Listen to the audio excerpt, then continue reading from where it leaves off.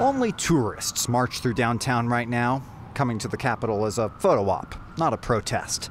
But when Mile High marked weeks of unrest in 2020, Denver police called them back up from Aurora under a deal for mutual aid. Do you think Denver's been upholding its end of the mutual aid bargain? No, I don't think so. I mean, I think it should have been just understood. Understood, Aurora Mayor Mike Coffman says that Denver would take responsibility for how those officers acted.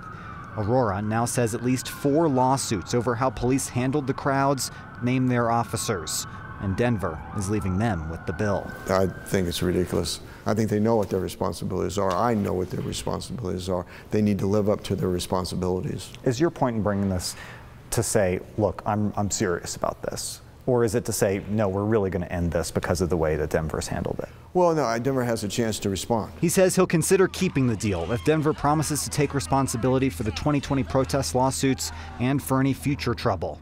But mutual aid goes both ways. Are you concerned about the impact this will have on policing? Not really, because uh, this really, uh, I can't imagine that we would be called upon to send a, a, a significant force in uh, where there wasn't a civil disturbance or some type of major incident. He says the city will still cooperate on typical police matters, just not big incidents. Do you think Aurora is setting itself up for a position where you need to call in for help and can't call Denver because you don't have this agreement?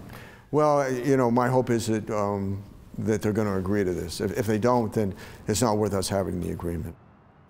Denver's current mayor, Michael Hancock, says he and Coffman fundamentally disagree on this issue, and he wants a judge to decide who should pay. Mayor-elect Mike Johnston's office says they're aware of this and also are waiting for that court's decision.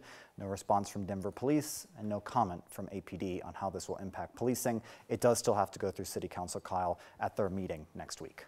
Yeah, so you kind of got the two tracks here. You've got the what does the judge decide about uh, liability and costs for 2020 and then what happens going forward. But it sounds like some people just kind of want to see see what happens in the court lane. Denver is saying that we want to just wait and see what the judge decides. Mm -hmm. Mayor Mike Coffman says, nope, I think I know what this deal is about, and we want to move mm -hmm. forward with that understanding. All right, understood. Thank you, Cole.